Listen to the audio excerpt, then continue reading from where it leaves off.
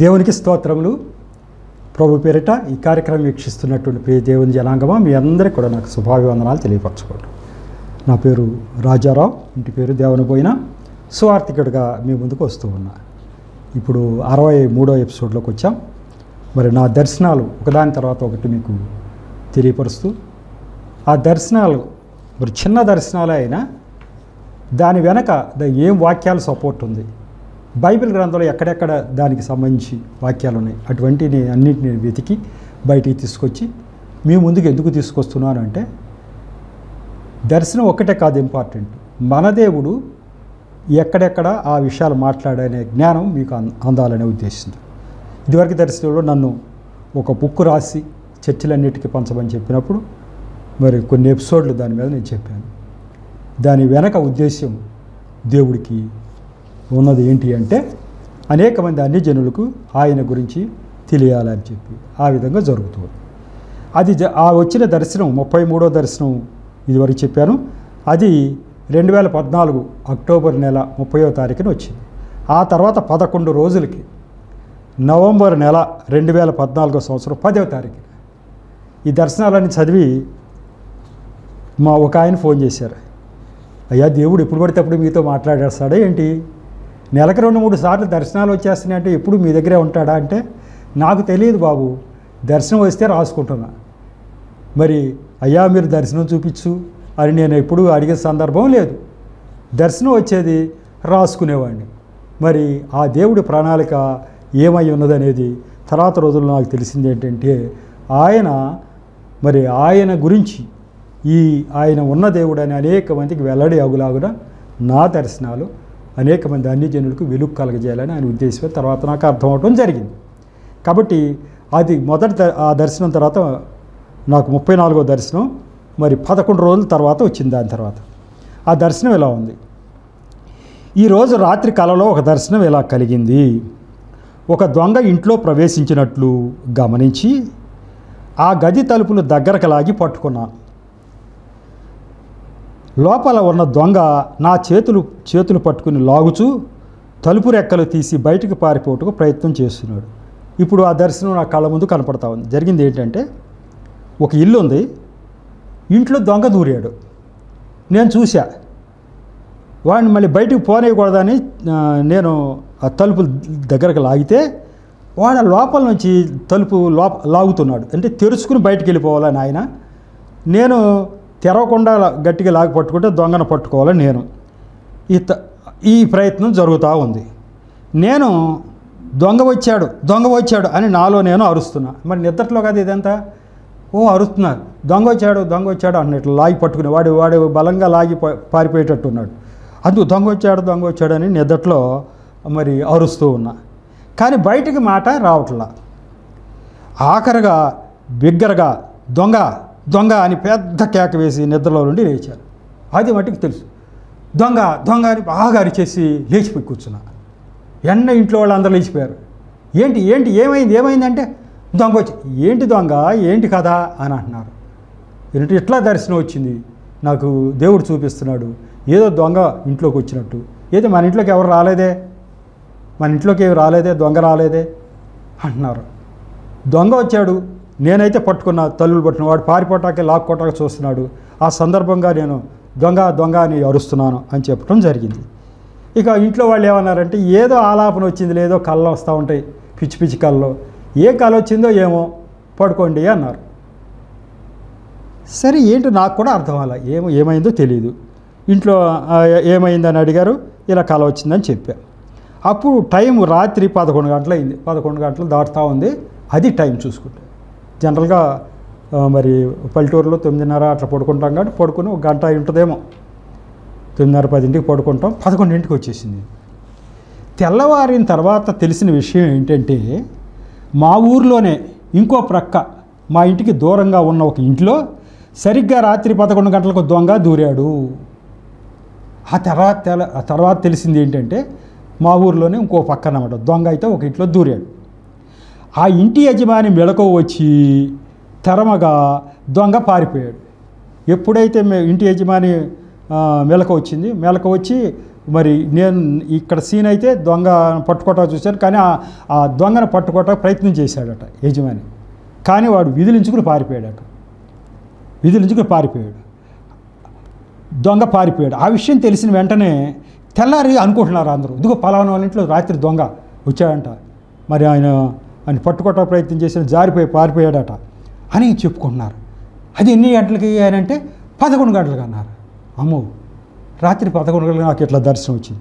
ఆ విషయం తెలిసిన వెంటనే నా దేవుడు ఎంత గొప్పవాడు ఊరిలో దొంగతనం ప్రయత్నం జరుగుతున్న విషయం సరిగ్గా అదే సమయానికి నాకు కళ ద్వారా చూపించాడు అని గ్రహించి ఆనందించాను.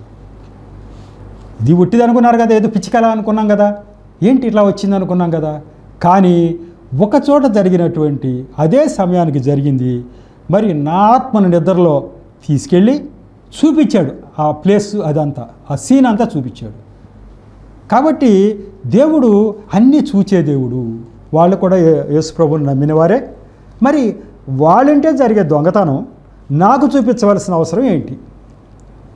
అని అంటే నేను ఇంకా గ్రహించడానికి నా దేవుడు సర్వము చూస్తున్నటువంటి దేవుడు. నా దేవుడు నా ఆత్మను తీసుకెళ్ళి అక్కడ ఏది జరిగేదో చూపించగలిగిన దేవుడు. ఒకప్పుడు నేను ఆరాధించిన వారు ఎవరైనా ఇలా చేశారా? చేయగలిగారా? అని నేను ఆలోచించుకోవటం అనేక మందికి నేను చెప్పాలి. ఈ దేవుడు అన్నీ చూచే దేవుడు. నా ఆత్మను తీసుకెళ్ళి అక్కడ జరిగే విషయాన్ని చూపించాడు. ఆయన శక్తి ఎటువంటిదో నేను గ్రహించాలని. ఏదో లేదు నేను వెళ్ళి దొంగను ఆపానని కాదు. ఆయన శక్తి ఎటువంటిది అని. నిజానికి అక్కడ యజమానికి మేలుకు వచ్చే చేసింది కూడా ఆయనే ఉంటాడు అంతే కదా? ఇక్కడ నాకు చూపిస్తున్నాడు. అక్కడ యజమానికి మెలకు వచ్చేట్టు చేశాడు. వాళ్ళు ప్రభుని నమ్మిన వాళ్ళే. వాళ్ళు ఏదో అనుకుంటారు మా అంతటి మనం మెలకు వచ్చిందని. కాదు దేవుడు కన్ను కాపు కాస్తూ ఉంటాడు మనల్ని. అక్కడ జరిగే విషయం నాకు చూపిస్తూ ఉన్నాడు. నేను నిజంగా ఆ తర్వాత చర్చిలో సాక్ష్యం చెప్పినప్పుడు అందరూ ఆశ్చర్యపోయారు. ఆహా ఈ దేవుడు ఎంత గొప్ప దేవుడు. ఆ ఇంట్లో యజమాని కూడా చెప్పాడు. అంతే అయి ఉంటుంది బాబాయ్. ఆయన కొడుకు వరుస అవుతాడు ఆ ఇంటి యజమాని. అంతే అయి ఉంటుంది బాబాయ్ ఇలా ఆ సమయానికి నాకు మెలకు రావటం ఇదంతా దేవుడే చేసి ఉంటాడు అని చెప్పాడు ఆయన. అమ్మా దేవుడు మా దేవుడు ఇంత గొప్ప దేవుడా. పైగా నేను ఎప్పుడు బేరీజ్ చేసుకుంటా కదా? అరవై సంవత్సరాలు నేను ఆరాధించిన దేవుళ్ళు ఏంటి? ఇప్పుడు నేను ఆరాధిస్తున్న దేవుడు ఏంటి? ఈ రెంటికి తేడా ఏంటి? నేను ఎప్పటికప్పుడు బేరీజ్ చేసుకుంటా కదా. కాబట్టి నాకు చూపించడం ద్వారా నేను అనేక మందికి చెప్పడానికి ఉపయోగపడుతుందని దేవుడి ఉద్దేశం అయింది ఈ దీని మీద అసలు ఆత్మ అనేది ఉందని మేము ఎరగం. దేవుడు మన ఆత్మను తీసుకెళ్ళి పలానా చోట ఇది చూపిస్తాడు అని మాకు తెలియదు క్రైస్తవులు ఎప్పుడన్నా అన్న ఇలా బ్రాహ్మ ఇలా పాస్టర్లు ఏదో చెప్తారు వీళ్ళు అంటారు కానీ మన ఆత్మను తీసుకెళ్ళి చూపిస్తాడా దేవుడు? మన దేవుళ్ళు ఎవరి ఆత్మను తీసుకెళ్ళి అక్కడ ఏం చూపించింది లేదే? వీళ్ళ దేవుడికి ఎట్లా కుదురుతుంది అది? ఏదో చెప్తా ఉంటారు వీళ్ళ పాస్టర్లు అని కొట్టి పారేస్తూ ఉండేవాళ్ళం మేము. అసలు ఆత్మ ఇన్ని పనులు చేస్తాడని ఆయన మాకు అసలు తెలియనే తెలియదు. ఈ స ఈ ఈ యొక్క దర్శనం వచ్చింది. దీని మీద కొంత వివరణ ఇస్తాను. సేమ్ ఇలాగే డాక్టర్ థామస్ గారని దహించు అగ్ని మినిస్ట్రీ అధినేత రాజమండ్రి చాలామందికి తెలుసు. దహించు అగ్ని అనే పత్రికలు కూడా వస్తూ ఉంటాయి. మాకు కూడా బుక్ వస్తూ ఉంటాయి ఆ దహించు అగ్ని మినిస్ట్రీ సంబంధించినటువంటి థామస్ గారు చెప్పింది ఏంటంటే ఆయన ఒకరోజు ఇట్లాంటి సంఘటనే జరిగిందట. అక్కడ జరిగిన సంఘటన మీకు చెప్తున్నా. ఎందుకంటే రాజారావు గారికి చూపించారు ఈ దర్శనం. దాన్ దాంట్లో ఉన్నటువంటి ఇంపార్టెన్స్ అంతా చెప్తాం. మరి ఇంకెక్కడికైనా ఎవరైనా ఎప్పుడైనా చూపించారా అనుకుంటారు కాబట్టి అది కూడా నేను చెప్పదలుచుకున్నాను అదే వాళ్ళ యొక్క బుక్లో నేను చూశాను ఈ యొక్క థామస్ గారు దహించగ్ని మినిస్టర్ ఆయన రాసింది ఏంటంటే ఆ పుస్తకం ఆ పత్రికలో రాశాడు కొన్ని మాసముల క్రిందట పాస్టర్ సుధాకర్ గారు నేను ఏలూరు ప్రాంతానికి సేవ నిమిత్తం వెళితిమి థామస్ గారు రాస్తున్నాడు నేను పాస్టర్ సుధాకర్ గారు కలిసి ఏలూరు వెళ్ళాం.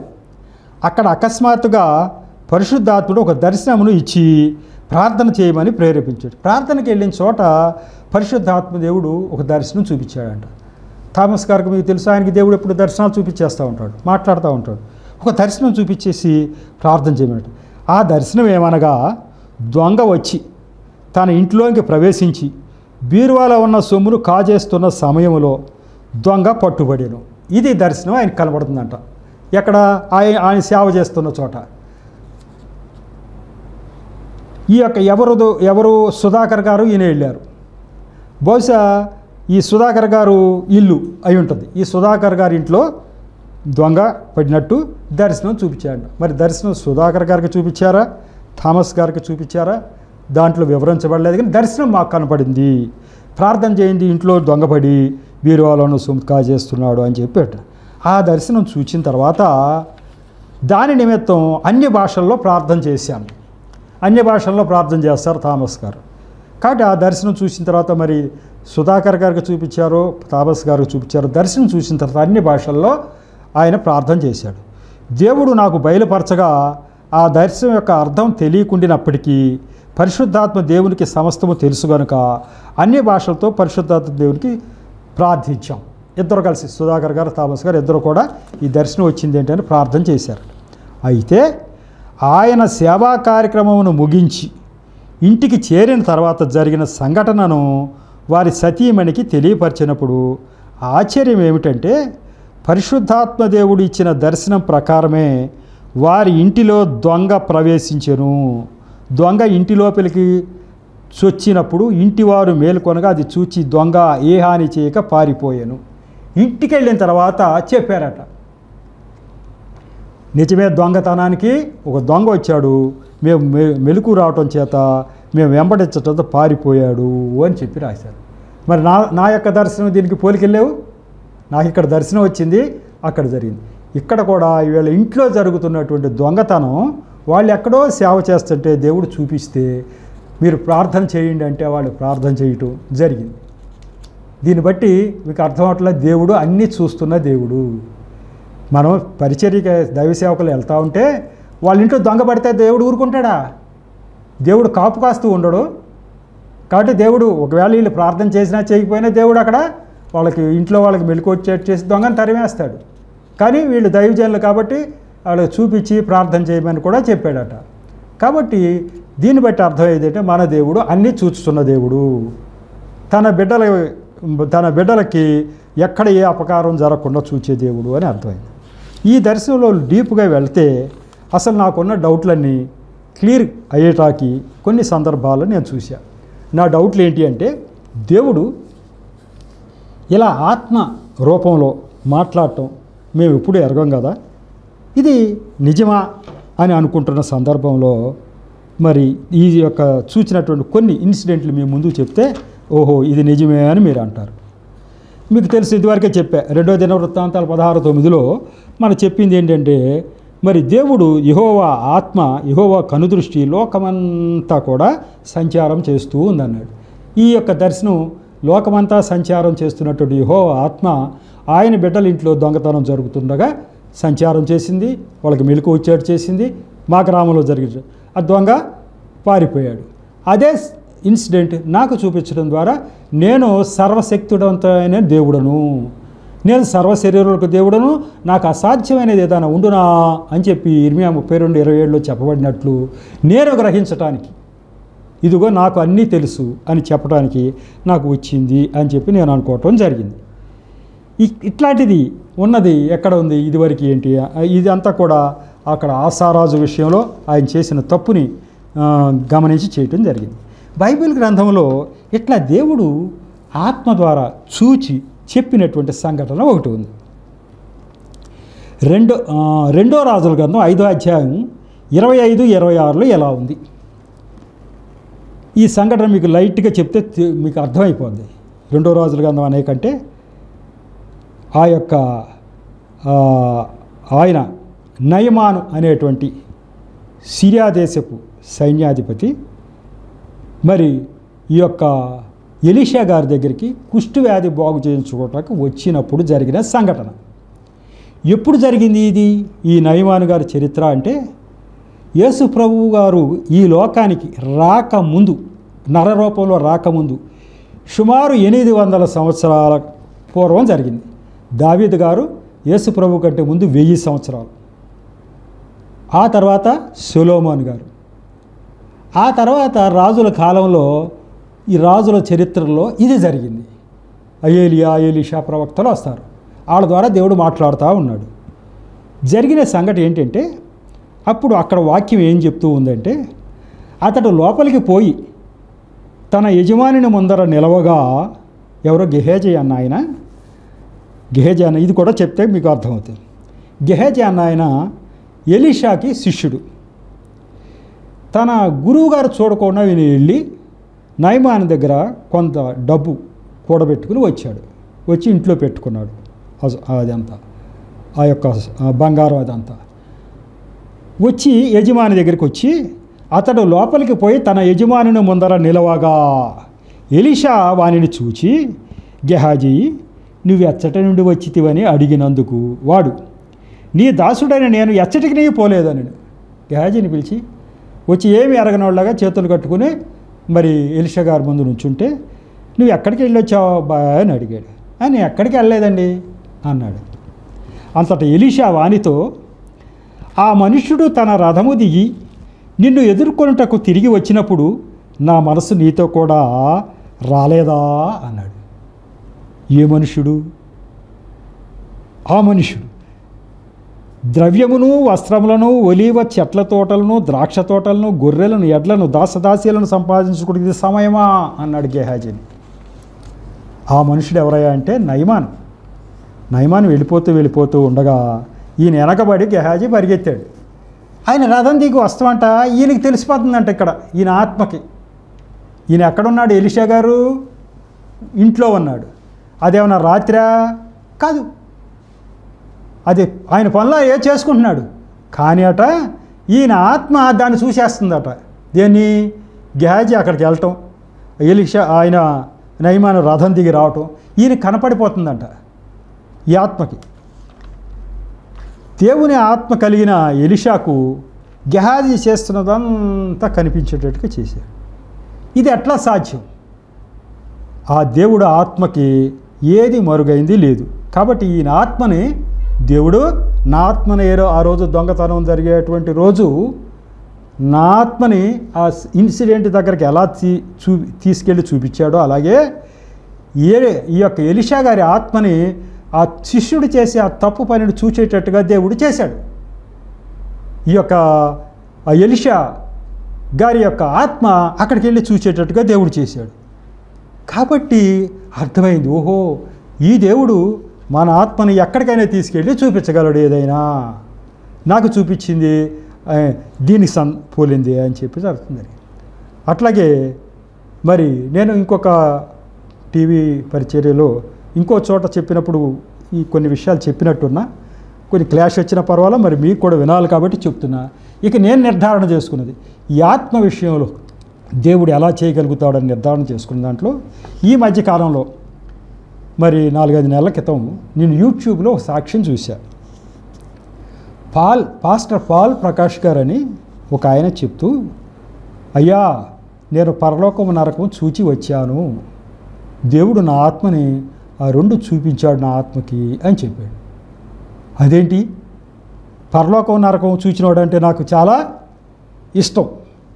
ఈ విషయం మేమెవరో నమ్మం అన్యజనులు పరలోకం ఉందని నరకం ఉందని క్రైస్తవులు చెప్తా ఉంటే ఆ వీళ్ళు ఇలాగే చెప్తారు? ఎవరు చూసి వచ్చారు? వీళ్ళు చూసి వచ్చారా ఏంటి?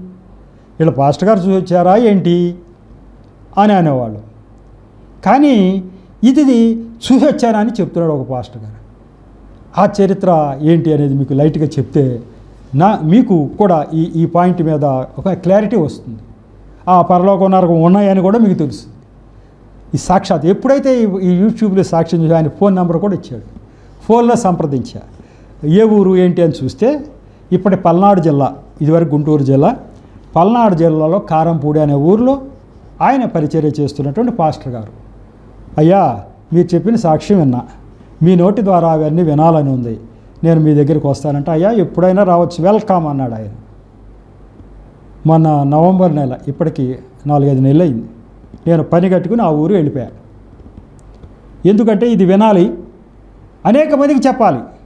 నా స్వజనులు అసలు ఈ నరకం క- పరలోకం ఉందని చూచి వచ్చినవాడు ఇంతవరకు ఎవడు లేడనుకుంటున్నారు. ఇంకా ఇదివరకు ఏదైనా మరి ఇదివరకు ఉన్న సాక్ష్యాలు ఏమైనా చెప్తే అదంతా ఎవరు చూశారు? అని అంటున్నారు. కాబట్టి ఇప్పుడు ఉన్న ఆయన ఈయన కాబట్టి మరి తెలియ చూసుకోవాలని చెప్పి నేను వెళ్ళటం జరిగింది. ఇప్పుడు ఆయన చెప్పింది ఏంటి అంటే సాక్ష్యంలో అయ్యా కరోనా టైంలో నాకు కరోనా సోకింది. ఆయన సాక్ష్యంలో చెప్పింది. నా కరోనా సోకితే అది సీరియస్ కండిషన్కి వెళ్ళిపోయింది మా ఊర్లో అక్కడ కారంపూడిలో డాక్టర్లు సీరియస్ అయిపోయింది. మరి ఇక్కడ ఏం చేయలేమంటే అక్కడ నుంచి కొంచెం పెద్ద టౌన్ అయినట్టు నర్సరావుపేట తీసుకెళ్ళమన్నారు. అక్కడ పెద్ద హాస్పిటల్లో జాయిన్ చేశారు. అక్కడ ఐసీయూలో పెట్టారు. బతుకుతాడో లేదో కష్టం అన్నారు. మరి సెలైన్లు ఎక్కుతా ఉన్నాయి. మరి మనిషి అయితే కోమాలోకి వెళ్ళిపోయాడు. వాళ్ళ భార్య పాస్టర్ గారు ఆయన దగ్గర పరిచర్య చేస్తూ ఉంది. కరోనా టైం కాబట్టి బయట వాళ్ళని ఎవరిని అనుమతించట్లా. సరే ఆమె ఏదో ప్రయత్నం మీద ఆమె ఆమె జా జాగ్రత్తలు తీసుకుంటే ఆమె ఒకటే అక్కడ ఉండటానికి ఏర్పాట్లు చేశారు ఐసీయూలో. ఇది పరిస్థితి. ఈయన మరి కోమాలోకి వెళ్ళిపోయి ఉండి అప్పుడప్పుడు కలవరిస్తున్నాడంట నిద్దట్లో అయ్యా నన్ను రక్షించండి. నన్ను నరకం నుంచి తప్పించండి. ఆ నన్ను వేయొద్దు నన్ను వేయొద్దు నన్ను వేయొద్దు నన్ను రక్షించండి ప్రభువా నన్ను రక్షించండి ప్రభువా అంటున్నాడట. ఎప్పుడు? కలవట్లు. మళ్ళీ కాసేపటికి ప్రభువా నేను చేసిన పాపాలన్నీ ఒప్పుకుంటున్నా. నా తప్పే నేను సరిదిద్దుకుంటా. నన్ను బ్రతికించండి అయ్యా నన్ను నరకానికి పంపదా మళ్ళీ ఇంకోసారి. ఇట్లా మాటలు వినపడుతున్నాయి అంట అప్పుడప్పుడు. ఇలా ఆ భార్య పాస్టరం గారు ఏంటి ఇట్లా మాటలు వస్తున్నాయి? ఇంక వేరే మాటలు రావట్లేదని వాళ్ళకి వాళ్ళ మినిస్ట్రీలో పెద్ద పాస్టర్ గారికి ఈ యొక్క ఫోన్ సెల్ ఫోన్ ద్వారా సెల్ ఫోన్ ఆ- యొక్క నోటి దగ్గర పెట్టి వినిపించిందట. ఆ పాస్టర్ గారు విని అమ్మా నీ భర్త బతుకుతాడో లేదో కష్టమే. అక్కడ ఏదో పోరాటం జరుగుతుంది. ఈయన నరకాన్ని తీసుకెళ్ళిపోతాక నరక నరకదోతలు వచ్చినట్టుగా ఉన్నారు. మరి ఈయన యేసుప్రభుని ప్రార్థిస్తూ ఉన్నాడు. మరి బ్రతుకుతాడో లేదో చెప్పలేం కానీ ఇదంతా అక్కడ జరుగుతున్న సీనే ఇక్కడ బయటికి మాటలు వస్తున్నాయి అన్నారు. అన్నాడట. రెండు మూడు రోజులు అయిపోయిన తర్వాత ఈయనకే స్పృహ వచ్చింది. ఈ స్పృహ రాగానే బెడ్ మీద లేచి కూర్చుని ఈలోగా ఏం జరుగుతుంది? సెలైన్ల మీద బతుకుతున్నాడు. సెలైన్లు ఇంజక్షన్లు వెళ్తున్నాయి. స్పృహ అయితే లేదు. ఈయన అంటున్నా అంట ఇదిగో నేను యేసు ప్రభు దగ్గరికి వెళ్ళి వచ్చా. ఇదిగో నేను నరకం చూసా ఇదిగో నేను పరలోకం చూసా అంటున్నా అంట అప్పుడు ఏం చెప్పిందంట అయ్యా మరి మీరు బా- బెడ్ మీద ఉండగా ఏదో నరకం గురించి భయపడుతున్నట్టు మాటలు వినపడినాయి అని చెప్పింది. నిజమే. అక్కడ జరిగిన విషయం ఏంటంటే ఈయన పాస్టర్ గారు అయినప్పటికీ కూడా ఈయన చాలా తప్పుడు పనులు చేశాడట. ఆ దేవుడు చూస్తాడులే అనుకునేవాడట. వాక్యం అయితే చెప్పేవాడు కానీ ఈయన ప్రవర్తనలో అంత మార్పు లేదట. కాబట్టి దేవుడు పక్షపాతం లేనివాడు కదా. పాస్టర్ అయితే ఏంటి? క్రైస్తవుడు అయితే ఏంటి? ఇంకొకడైతే ఏంటి? న్యాయం న్యాయమే కదా. కాబట్టి ఆయన ఏం చేశాడు? ఇక ఈయన పరలోకానికి అర్హత లేదనుకున్నాడో ఏమో మరి ఆ యొక్క మృతుల లోకంలోకి ఈయన ఆత్మ వెళ్ళినప్పుడు ఆ సాతాను దూతలు వచ్చేసి ఈయన లాక్కుపోతారకై వచ్చారట. ఇదేంటి? మీరు లాక్కుపోతున్నారేంటి? ఈ అగ్నిగుండం కూడా కనబడుతుందంట అక్కడికి. నిన్ను తీసుకుపోయి దాంట్లో పడేస్తాం. నీవు పరలోకానికి వెళ్ళే అర్హత నీకు లేదు అని చెప్పి వాళ్ళు అంటున్నారట. అప్పుడు యేసు ప్రభు ఎదురుగా కూర్చునే ఉన్నాడట. అంటున్నాడంట ప్రభువా నన్ను నా వైపు చూడండి అయ్యా నేను పాస్టర్ అయ్యా మీ సేవ చేశానయ్యా. మరి నన్ను వీడు తీసుకుపోయి అగ్నిగుండంలో పడేస్తానంటున్నారయ్యా. నాకు పరలోకం కావాలి కదయ్యా అని అడుగుతున్నాడట. యేసు ప్రభు వారు ఈయన వైపే చూడలేదట యేసు ప్రభు వారు ఈయన వైపు చూడలేదట అరే ఎంత గోజాడినా చూడలేదట ఆఖరికి ఈయన చేసిన పాపాలన్నీ చూపిస్తున్నాడు దేవుడు. ఏమేం పాపాలు చేశాడు? ఈయన ఈయన దేవుడు వాక్యం అయితే చెప్పాడు కానీ వాక్యానికి విరుద్ధంగా ఏమేం చేశాడో అన్ని పాపాలు ఈయన కళ్ళ ముందు చూపిస్తున్నాడు. ఈయన తెలిసి అయ్యా చేసిన మాట వాస్తవమే. నేను అహంకారిని నేను ఎలాంటి వాడిని ఎలాంటి వాడిని నాకు గుణం సరిగా లేదు. మరి నాకు ఇప్పుడు తెలిసిందయ్యా మీరు ఇవన్నీ చూసేశారని నాకు తెలియదు నేను ఎట్టగో పాస్టర్ని గారు పరలోకానికి పోతాను అనుకున్నాను. మరి నన్ను క్షమించండి అయ్యా నన్ను క్షమించండి అయ్యా నన్ను నరకానికి పంపించదని ప్రకటిస్తే ఎంతో కొంత సమయానికి దేవుడు అప్పుడు ఈయన వైపు చూశాడు అట్లా ఇక్కడ రెండు మూడు రోజులు కోమాలో ఉన్నాడు కదా. ఈ ఎంతసేపు అక్కడ గోజాడుతూనే ఉన్నాడు.